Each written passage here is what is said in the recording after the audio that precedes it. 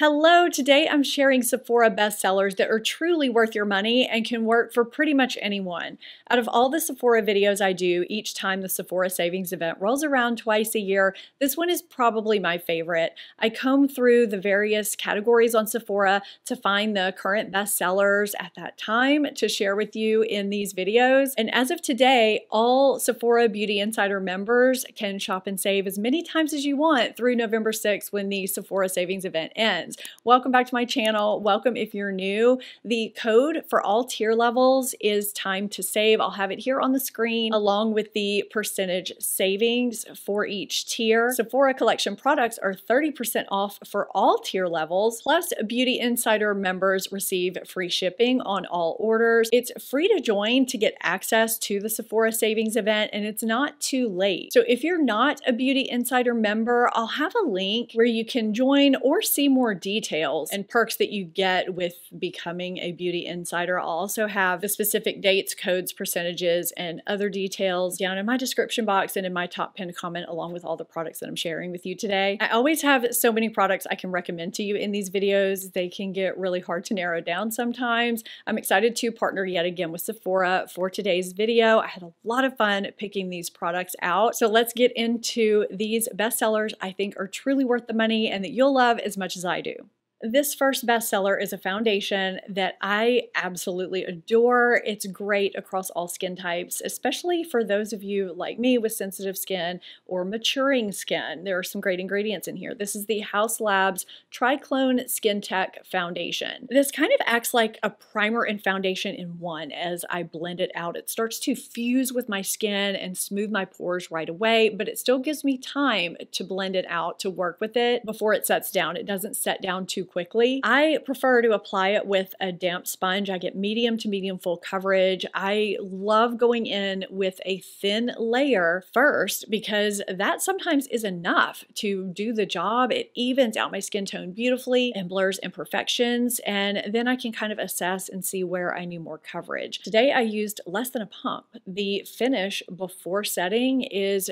dewy, which some people really love. If you have dry skin, that's probably going to be great for you. I have combination skin. It's normal dry around the perimeter and I get some oil shine breakthrough in the center. So I do set my foundations and I do have a full review on this foundation if you want to check that out under my foundation roundups playlist. I set this today with the Haus Labs powder and after I set it with powder, whether it's this one or another one, this powder is really great too, by the way, it gives just a natural skin finish. It's not too dewy, it's not too matte. It probably looks rather radiant here in front of these lights lights, but in real life, non camera lights. It's just a beautiful, natural, flattering finish. And it lasted really nicely throughout the day. This is such a beautiful, flattering foundation that has been worth every penny because I'm constantly testing complexion products, I usually start these videos there. So I'm going to start with a concealer, a best-selling concealer that I've been loving. I'm just always on the hunt for good complexion products for those of us that are over 45 and over younger too. It's just more of a challenge the older you get. So this is Huda Beauty Faux Filter Concealer. This is a very lightweight concealer that's buildable from medium to full coverage, and it gives a soft matte finish while it brightens and conceals conceals. I appreciate that it does brighten and conceal. Sometimes it's hard to find a concealer that does both well. I don't know if you've run into that like I have. So it's got this curved kind of fat short doe foot, which is fine. I don't really love or hate that. Now I didn't like this at first though. I usually blend out my concealers with the warmth of my fingers to make them as skin-like as possible. And when I did that with this, I, I found it was a little bit cakey and that just didn't mesh well with my dry under eyes. I have fine lines and texture and it just wasn't working with this concealer. I decided to retry it at some point because so many people were raving about it and I tried it with a damp sponge and that's when I fell in love with this concealer. When I apply this, when I blend it out with a damp sponge, it just fuses with my skin in such a beautiful way. It's flattering, smoothing, and skin-like. Now I can place another dot over my darkest areas if I want to layer it. I have under eye hollow, so it's usually just at that darkest spot, maybe at the outer corner too. And I can blend that tiny dot out with my finger with no problem, just not the entire blending process. This is such a beautiful concealer that wears well throughout the day and looks natural while giving that versatile medium to full coverage, depending on how I build it and whether or not I'm wearing a corrector. Today, I do have a corrector underneath and I built it up to, I would say medium full. I didn't take it to full coverage and that was plenty for me today on just a regular day. I love this. It's great for every day or for dressy special occasions. My under eye area will always crease. If I don't set my concealer with something, it's just how my anatomy is. I always crease right under my lash line and, and my crow's feet area. The most flattering under eye setting powder I've ever found and my holy grail is Pat McGrath's Sublime Perfection blurring under eye setting powder. There are four shades. I have the lightest shade, which looks white, but it is translucent. When you blend it out, it's got this silky texture and a brightening, soft focus finish. I saw the word radiant on Sephora's website, and I feel like that might scare people because when you see the word radiant, you often think sparkle. There is no sparkle in this. It just has a soft focus, blurring airbrush finish. I like to press this softly into my under eye area with a brush. And then to give my extra crease prone areas a little extra insurance, I like to just press a sponge, damp or dry, whatever I'm using that day, into those areas right under my lash line and at my crow's feet, just to make sure the powder is evenly distributed in those areas. This is a product that I won't be without. You can see I've hit pan. I think this is my fourth one and I will be getting another one in my Sephora haul during this Sephora savings event. I will be sharing that haul in another video coming soon, so stay tuned for that. And you're probably hearing some overlap because I do several Sephora videos during the Sephora Savings event. This is a holy grail product, but I don't overlap products video to video. So if you want to see all my recommendations, I'll have the playlist linked at the end of this video and stay tuned because I am doing a couple more videos before the end of this event.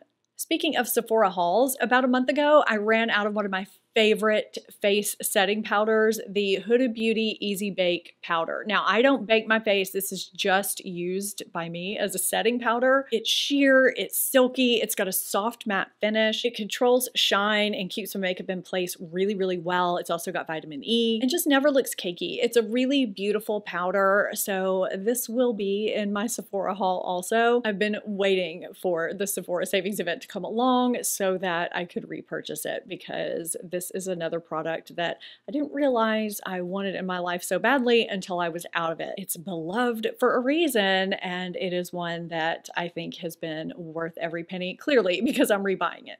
This bronzer kind of snuck up on me. I've had it for a while, but out of nowhere, I just found myself reaching for it more and more in lieu of other bronzers. And I do love that you can purchase refills instead of the entire compact once you run out. This is Charlotte Tilbury Airbrush Matte Bronzer. Now, if you have dry skin, don't be scared of the word matte in there. It basically just means there's no shimmer. It just gives a natural finish. But more than just giving a natural finish, it almost seems to blur my skin as it it's giving warmth to my face. I love the large size. It makes it really easy to use. The tone medium is perfect. It's a great neutral for my light medium skin tone. It's got microfine perfecting powders, so it's really silky. It's also got hyaluronic acid that help your skin appear softer and smoother. I love that it's sheer yet buildable. You can't really mess it up. Uh, bronzers don't always swatch well, but I mean, you can see the neutral tone there. It is the bronzer I'm wearing lightly today. It it's silky, it's smooth, it's buildable, and I do love the compact. It's just great, especially if you're traveling and you want a nice size mirror. I've used it here as I've been applying my makeup on camera plenty of times, and I've been asked what the product is that I'm using. It's this big mirror, big bronzer for a big bronzer brush. This is a luxury product that I paid full price for, so I definitely think this is a bestseller that's worth picking up during the Sephora savings event.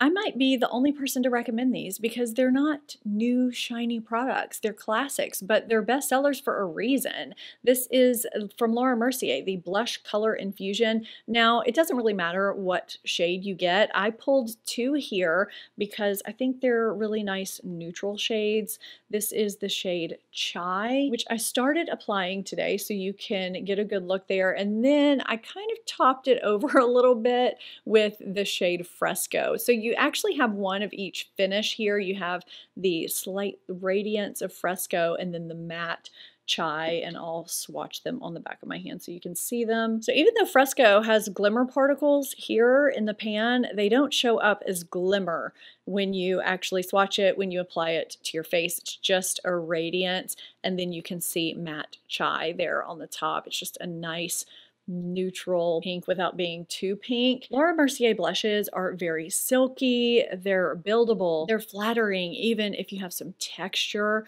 and they wear really well throughout the day. These are staples in my life. They have been for double digit years, actually, not these specific blushes, but Laura Mercier blushes in general. And I think that's why they remain bestsellers. It doesn't matter what shade you get, these are really great and worth the money. If you're like me and extremely picky about your highlighters and you just don't like them to have any glitter or sparkle once you blend them out and you just want them to give you a little, you know, something something, but not highlight anything bad, any texture, you know, just give you a little enhancement. That's what both of these do. Now, this first one is quite often out of stock and it was out of stock about a month ago, but as of today, it's in stock. I don't know about when this video goes live, if it's going to be in stock. I'm crossing my fingers. This is the Dior Backstage Face Glow palette in the shade Universal, and it's that shade specifically that is always going out of stock.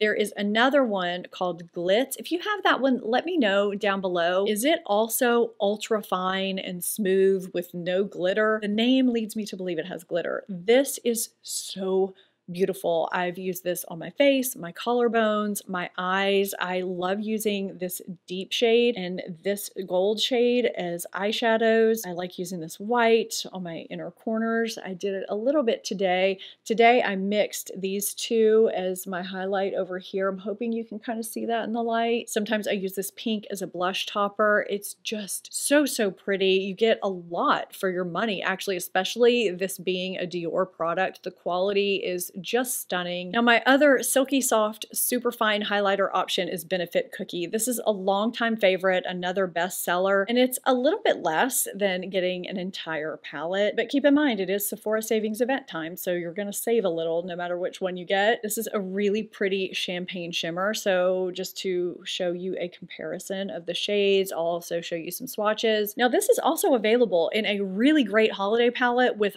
full sizes of Cookie, Hoola Bronzer, bronzer and Shellie blush. Those two Benefit products are also favorites of mine, that specific shade of blush and Hoola bronzer. And that palette I think is like $4 less than this. So you have some options here, whether you're wanting a palette with different types of products, a palette with various highlighters you can use for various things, or a single highlighter, whatever you want, but they're all bestsellers. I don't think you could go wrong with any, no matter what you choose. I was late to the game getting this bestseller. This is Makeup by Mario Master Mattes eyeshadow palette. Now, at the time, I wasn't wearing a lot of just mattes, so I didn't think I was really going to use it that much. And even when I first got it, I wasn't doing a lot of matte looks, but I found myself dipping into this for a matte here and there. Sometimes it was this light shade for my brow bone or my inner corner, or it was this kind of nude shade for my lid, or it was one of these shades to line, or one of these for my crease. It was just a shadow here or there. This is what I have on my eyes today for an all matte look, but since getting this, I have been wearing a lot of all matte looks on a day-to-day basis. Sometimes I'll just line my eyes, kind of smudge it out and put something in my crease. And this is just an easy palette to reach for because the shadows blend out so easily and they wear well all day. I know Patrick Ta has his new matte palette out. I haven't felt the need to get that because I've been happy with this one and the shades are so similar. Whether it's getting an entire eye look or just dipping into this here and there, this lives in my vanity. I reach for it constantly. I know there's been a lot of buzz about his newly re-released Ethereal Eyes palette, and I do have the original version of that, and I like it too, but I have not reached for that nearly as much as this on a day-to-day -day basis. I love this. I think it's a bestseller for a reason because it's truly useful and it applies and wears so beautifully. I know we all do different things with the Sephora savings event. Some of us grab gifts for others or for ourselves. Some of us try new things or buy pricier items while you can get them at a discount. I grab things I've run out of and backups of things I know I'm going to need within the next few months, like mascara. We all need to buy new mascara every so often. And one of my favorites is a classic. It's been around a long time. It's also been a bestseller for a long time and deservedly so. This is Urban Decay Perversion. It's a really black formula that gives really great volume and length. It's also got some nice ingredients that help nurture and protect your lashes, which is an added bonus. It's kind of a wet formula, so I do like to scrape off the bristles before I apply it. That's just a little side note. Now, if you prefer a waterproof formula, there is a waterproof version of this that I also love for holding my curl and giving me that black volume and length all in one. So I'll have that listed down below for you as well. But if you're looking for a really great mascara, this has been a favorite of mine for a long time. I do have quite a few favorites, but I feel like it's been a while since I've talked about this one, and it's a good one. These Makeup by Mario Ultra Suede Sculpting Lip Pencils have been bestsellers since they launched, probably. I think it's a combination of the shades that he came out with along with the formula. These glide on so easily and they're really great if you like to overline your lips because they still look natural. They don't tug and they're not drying, yet they help your lip products to wear better throughout the day.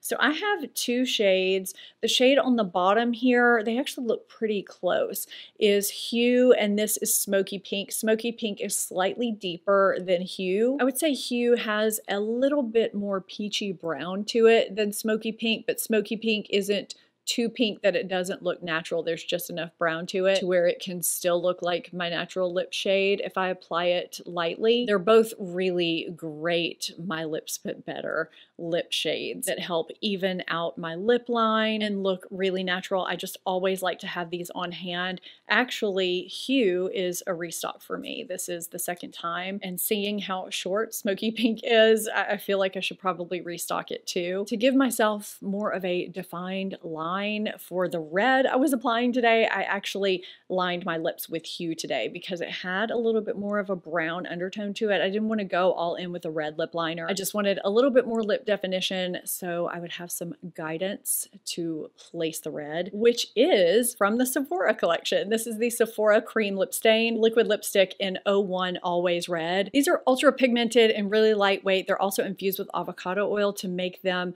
comfortable and not sticky. I don't like many liquid lipsticks, but I can actually tolerate these. I have had this on for several hours now since before I started filming. I've been talking and drinking water and it looks exactly the same. I always get asked about my red lipstick when I wear it in videos, so I wanted to let you know what this was. There are tons of shades, and there's also a set of six that includes a one Always Red. I'll list it and link it down below too, and Sephora collection products are 30% off through November 6th, so I just wanted to share what was on my lips in case you were wondering or if you wanted to pick one of these up. I don't know what it is with these YSL Shine lipstick balms, but I have several and I just pull them out frequently to wear them. They're so comfortable and give the right amount of buildable pigment and shine, and they just feel so good and they smell good too. So my most worn is shade 123. I want to say it's called Nude Transparent, but they all have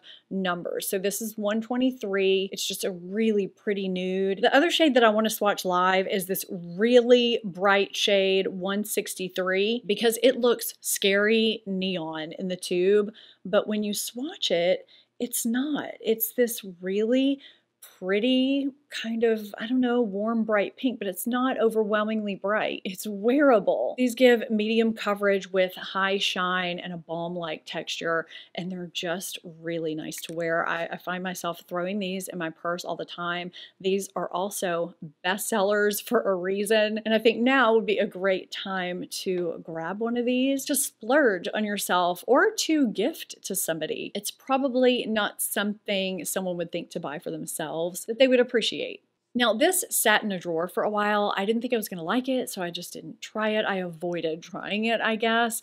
And it is a bestseller because it went viral, but I also think it's a bestseller for a reason. I ended up really, really loving the Drunk Elephant B-Goldi Bright Illuminating Drops with niacinamide way more than I thought I was going to. They don't make me look like C3PO like I thought I was going to. They instead give this very, very subtle champagne radiance that evens your skin tone and it's really flattering and lightweight without any added serumy texture or feel. I wasn't expecting that from a radiant type of product. They're designed for all skin types. There's no sparkle or glitter whatsoever. There are several really great ingredients in here that are supposed to help with dullness, dark spots, fine lines and wrinkles, pores, uneven texture, a lack of firmness and elasticity. They're also supposed to soothe skin. There's also antioxidant benefits. And like their other color serum products, like the D-Bronzi drops that I mentioned earlier in the video, they're designed to be mixed into other moisturizers or products for just the tiniest hint of finish of color. It's a really, really lovely product that I wasn't expecting to like, and I do understand why it's a bestseller and why it so frequently goes out of stock. There are a lot of really great Drunk Elephant products that agree with my sensitive skin really well. So I won't mention them all, but I will mention the number one best-selling moisturizer at Sephora, the Drunk Elephant Protini Polypeptide Cream, which has been in my life as a staple for many, many years. This combines signal peptides, growth factors, pygmy water lily, and amino acids to improve your skin's texture, tone, and firmness. And it's just really nice and lightweight, yet still hydrating. And this is another product that is refillable. I actually have the refill for this right here. Now, if you're a drunk elephant lover or if you have people in your life that are, I want to mention really quickly, just as a quick side note, the Drunk Elephant Trunk 7.0. They do this every year where they partner up with some kind of a bag brand of some sort to bring you a, a big value with a bunch of full size Drunk Elephant products. I know some people will go in together and split it. So this year they teamed up with Baboon to the Moon, and the bag is the Go Bag Mini Duffel Backpack with $159 value. I have this, it's really cute, really functional. There are 10 full size Drunk Elephant products in here, plus seven samples. Everything together has a $639 value and you can grab it for $465. I did want to mention it because some people really love grabbing this every year and either splitting it up or just getting it for themselves because they know they're going to use those products all year and they can get a, really cool bag or something in the process. Unless you just have a stockpile of facial sunscreen, this is a great time to stock up on one to have on hand or to try a new one, to buy a new one. A bestseller that I really like, especially for under makeup, is Summer Fridays Shade Drops. It's a lightweight SPF 30 mineral sunscreen that sinks in like a lotion. So it works great for me with my combination skin. I use this as a combination moisturizer sunscreen product, and it also protects my skin from environmental aggressors too. I always recommend grabbing some kind of home scent to have on hand during the Sephora Savings event, whether it's for yourself or to grab as a gift to have on hand. You never know when you're going to need to have something when you're walking out that door during the holiday season, and why not grab it at a discount? I know so many people that love receiving Nest candles or reed diffusers on the regular because they just love that brand and they don't really want to buy it for themselves. So I always recommend their holiday scent. It's not like your typical holiday scent, you will fall in love with it. I'll put the notes here. This is consistently burned by me during the holiday season. And they usually have a duo with their Birchwood Pine candle. That's a really nice gift set to pick up. And that Birchwood Pine is also the best pine candle. There's just something a little extra special about it versus other pine candles. Now, if you don't want a holiday scent, you can't go wrong with their Moroccan Amber. It smells a little strong in the jar, but once it's lit, it's heavenly. Or Voluspa Santal Vanille. This is a wonderful scent at a slightly lower price point in a beautiful jar. Giftable and great for your own home too. Let me know in the comments what you're getting from the Sephora Savings event. You never know, they may end up in my haul. Sometimes I get ideas from you that I end up loving. If you want to see more recommendations or see some new Sephora products that I've been loving, products I use all the time, be sure and check these videos out and stay tuned for some more upcoming videos. Be sure you're subscribed so you don't miss those. I hope you enjoyed this and found this helpful. If you did, give it a thumbs up. I would really appreciate it. Thank you so much for watching. I'll see you next time. Bye.